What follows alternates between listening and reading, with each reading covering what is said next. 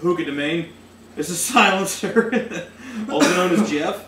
The guy over there next to me, as you're all well aware, is Cryptic Mac, also known as Tony. Hola, ¿cómo estás? Indeed.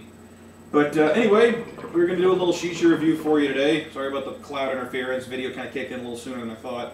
Um, this one was actually sent to us uh, through the guys over at Hookah Addiction. Uh, it was very cool of them to send it to us because we had been very much interested in some of this uh, Soex herbal shisha we had been hearing and reading about. I mean, we had tried a few other ones. The Black Label, if you look back in our page history, you'll see we did some reviews on those. But let's get down to business. Bring my Mountain Dew with me. Packaging. There we are as such. Shiny. yes, Tony, it has shiny stuff on it. Uh, this is one of the Soex Herbal Shishas. It is the white grape flavor.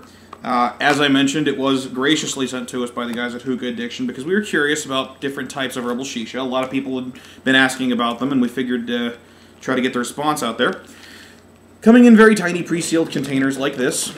Um, the moisture level on it, if you can't see, it's a very, uh, it's more on the dry side. Uh, the the Don't drop it on the laptop. I'm trying not to, but um, it is a little more on the dry side.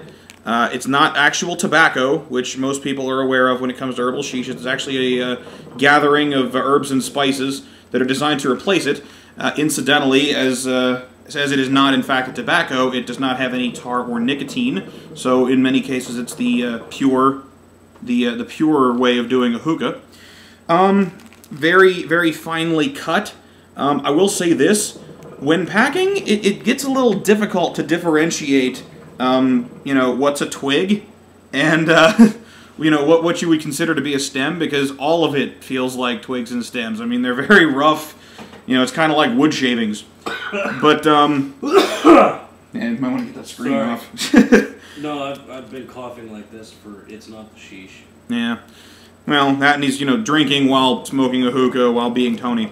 But, um, regarding the smell on it, again, white grape flavor. Um, very, uh, very subtle. Um, at first, you- think that, uh, you know, it does have a little bit of a different uh, twist to it, which I'm convinced is just the uh, special herbs and spices, for lack of a better way to put it. Um, but it does have a nice, a nice uh, grape scent to it. I'm not gonna lie, our experiences with herbal shishas up until this point ha- have, have not left us with a very good impression of them. Although, again, me and Tony have no objection to doing tobacco, and we don't care if we're, you know, hitting ourselves with nicotine, so maybe it's just preference. Well, uh, my main reason I wanted to do uh, herbal versus anything else is because you hardly ever see reviews on herbal. It's always on, you know, Starbuzz and Hookah Hookah and Hookah Freak, you know, all the, you know, good stuff, but, you know, all the herbals left out because nobody wants to spend the money or even smoke it because of the flavor. Admittedly, they have gotten a bad rap, a lot of herbal shishas. I mean, everybody just knocks on them so bad. But they serve a function.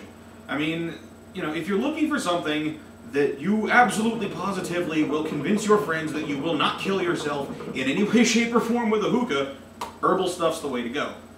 Now, um, as far as how this stuff smokes, um, again, as I said before, we actually had a little bit of a prejudice when it came to doing herbal shishas up until this point because we hadn't had very good experiences with them.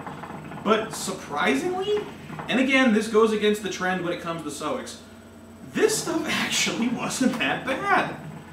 I mean, you get a nice, light grape flavor on the exhale. Very light. And That's true. It's true. It's not a very powerful flavor, but again, for the amount of moisture that's in there, it was impressive from where I was sitting.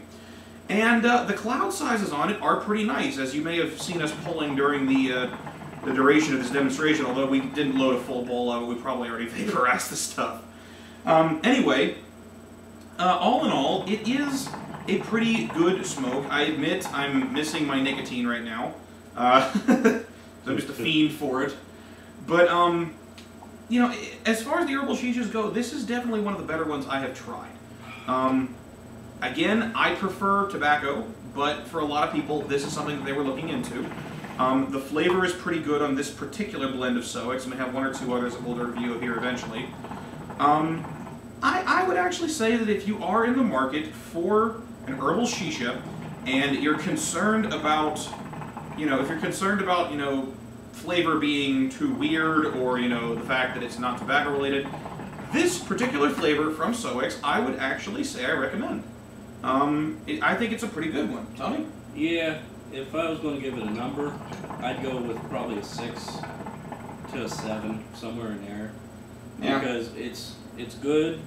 I mean, if we pack a full bowl and everything, we could probably sit here and smoke it for an hour and a half, two hours, and be perfectly fine with it because it's not harsh. It's not bad on the XL, and the clouds are fun. I mean, they're not fuck off clouds. And that's good. That was what was surprising is that again, if you fast forward back in this video, because I think one of the negatives about the SOX is that it burns up pretty quickly because now this stuff's about vaporized. Fast forward, don't you mean rewind?